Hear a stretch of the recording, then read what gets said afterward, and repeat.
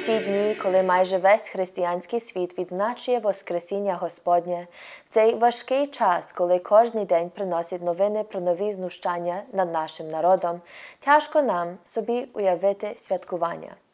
Щоб якось допомогти нам з'ясувати ці протилежні почуття, ми запросили до великоднього слова колишнього єпископа Бриптійської Колумбії Кена Новаківського, а тепер екзарха Української греко-католицької церкви в Лондоні. Цей сюжет презентований медійною радою Світового конгресу українців. Дорогі глядачі, вітаємо вас на українській телемережі Контакт.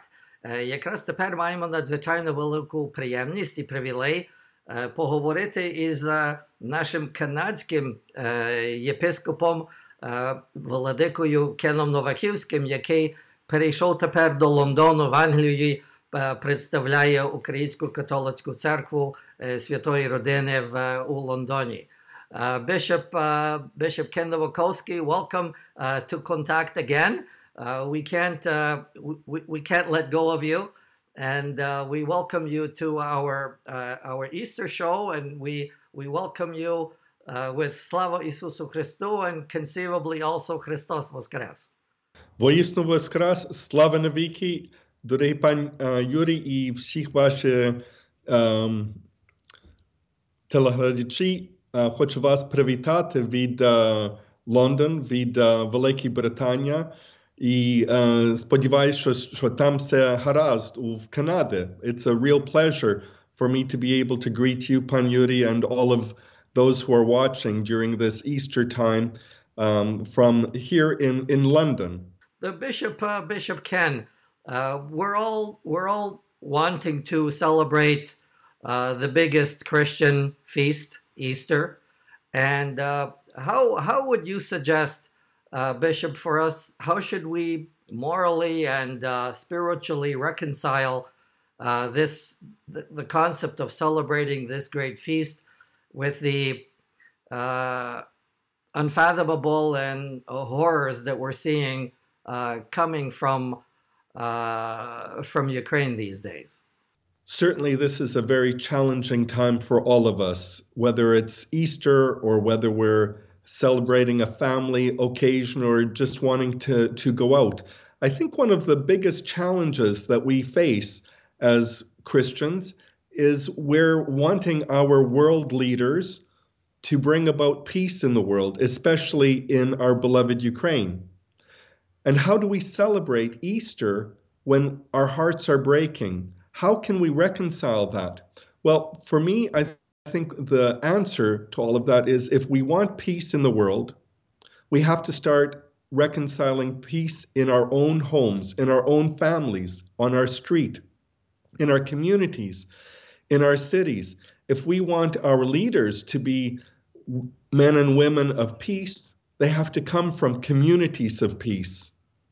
So at Easter time, certainly, yes, our greatest feast day, Jesus laid down his life for sinners. We're all sinners.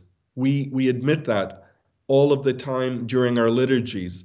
We say, Lord, have mercy. A person who is without sin requires no mercy, but Jesus came for us. And so he also not only died for our sins, but he died and resurrected for our salvation.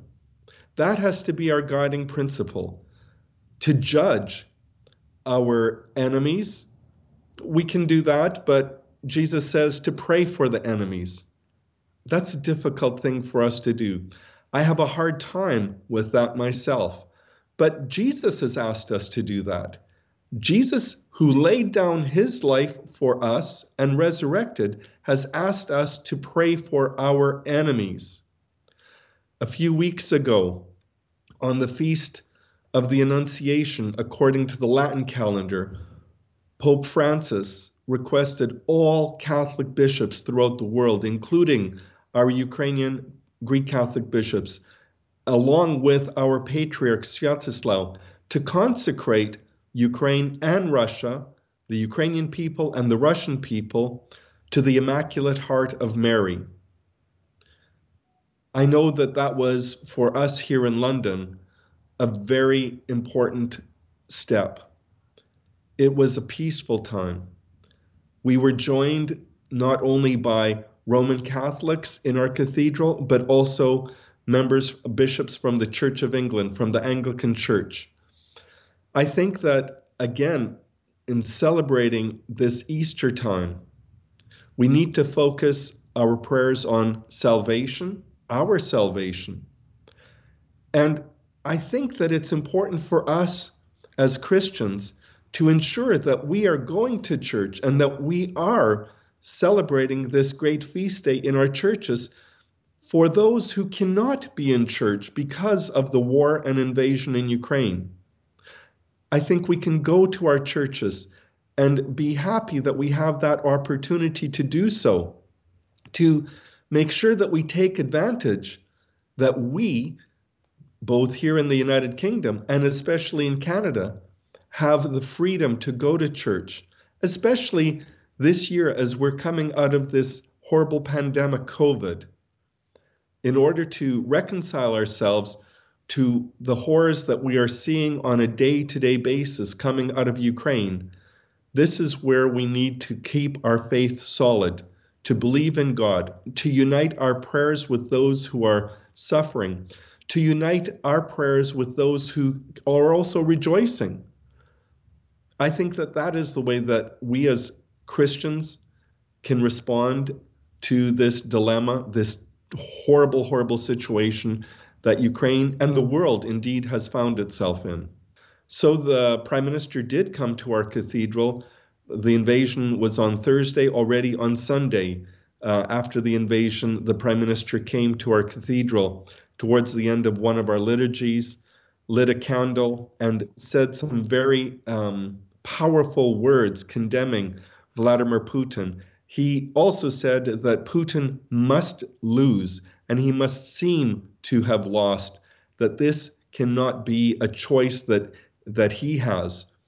After that, he had an opportunity to meet with our leaders behind closed doors. And he was very clear that he said, The press are not here. This is your opportunity to talk to me.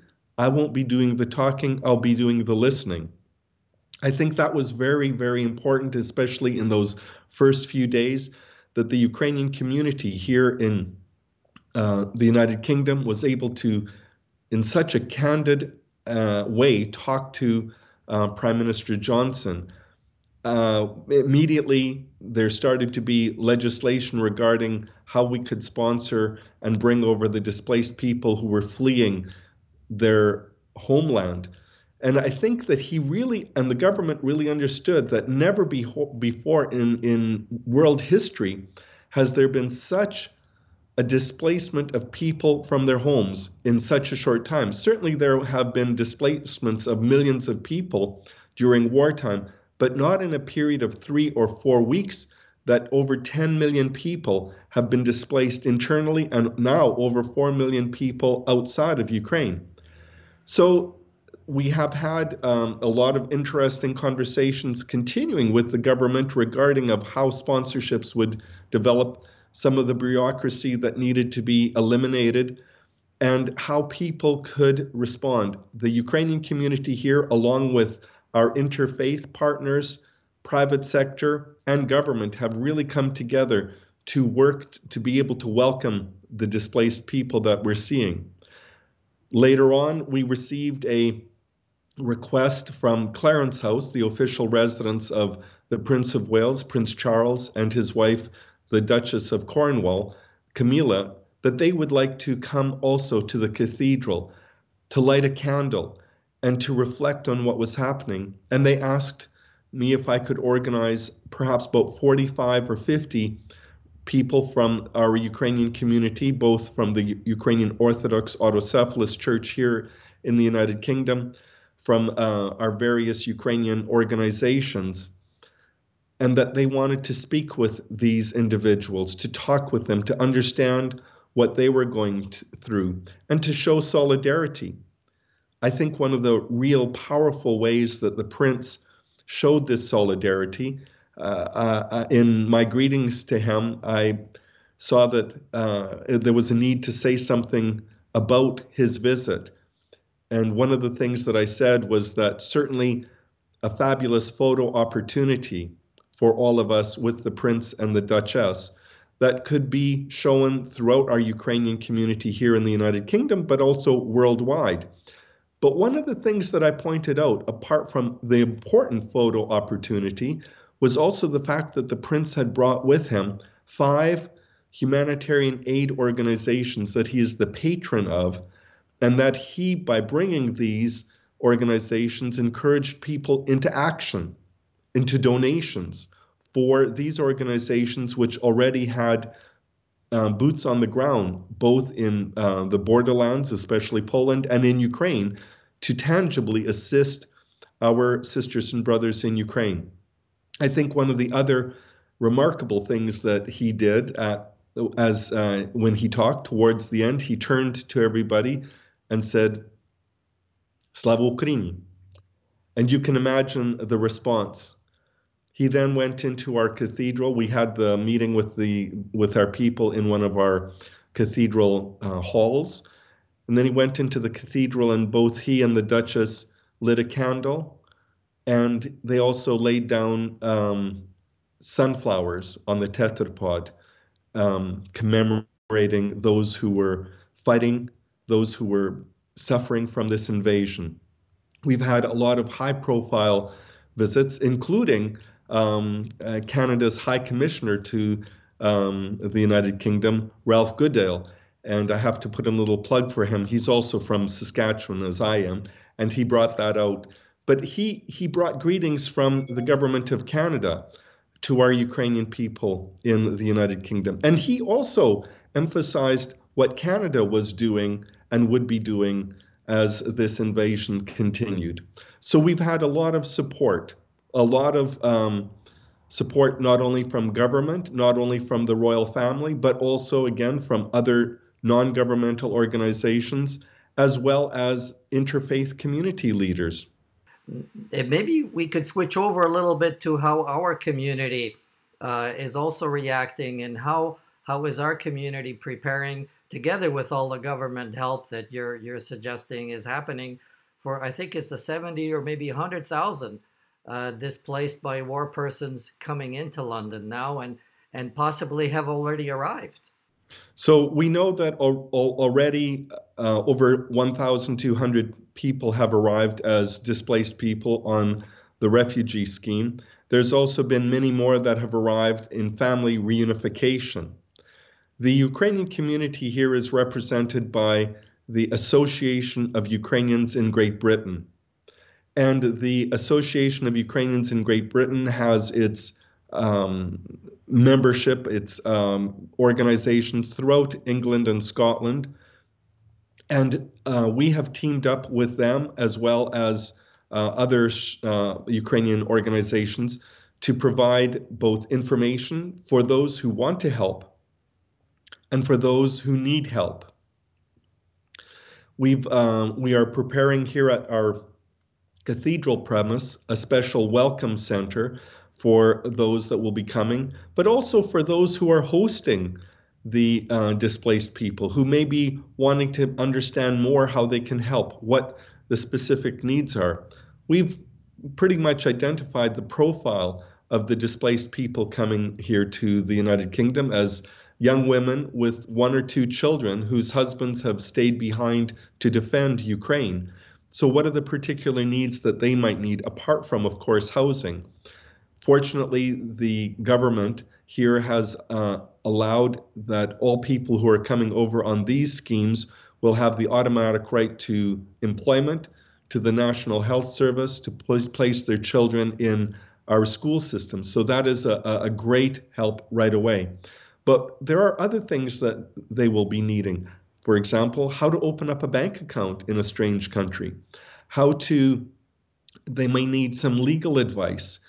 Um, they may need uh, webinars on how to um, fill out various government forms here. But what about people who are not fluent in English and have to fill out forms for everything here? We can be helping them. We can also be doing what's called signposting. If we don't want to duplicate already the great services that are being offered by other non governmental organizations and uh, faith groups, uh, communities. So instead of trying to duplicate that, we want to be able to share that information with both our sponsors and also the displaced people that will be coming here, not only for London, but throughout the United Kingdom. Bishop Ken, um, absolutely wonderful uh, to be uh, hearing from you both on on the uh, on the Christian uh, note of how we reconcile uh, Easter celebrations with the horrors that we're seeing from Ukraine.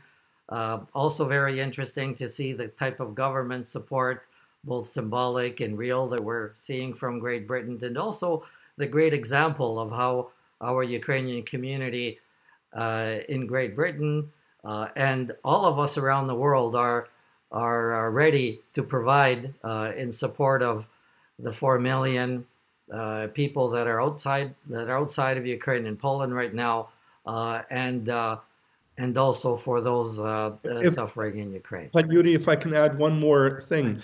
A few weeks ago, I was called by the mayor of Lviv, Pan Andriy Sadovyi, and uh, made a request of me um, that I, I, agreed to try and do. I mean, it seemed a little bit perhaps over my pay grade, but he said that the bells of all of the churches in especially Lviv and in western Ukraine were going to be ringing at 6 p.m. in the evenings.